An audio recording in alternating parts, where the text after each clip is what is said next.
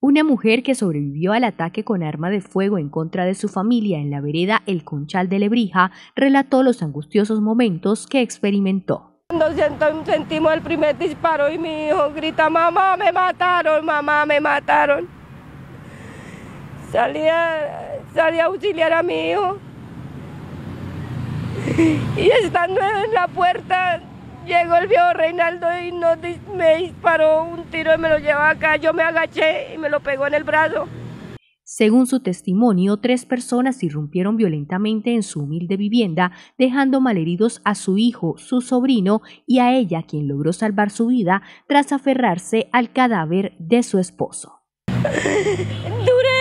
Las diez y media de la noche hasta las dos y media de la mañana debajo de la cama junto con el cuerpo de mi marido y con mi hijo, dando gracias a Dios que mi sobrino se pudo escapar malherido. Al parecer, la situación tendría relación con un antiguo episodio de agresión entre los involucrados, sumado a la lucha por el control de la extracción artesanal de oro en el río Lebrija.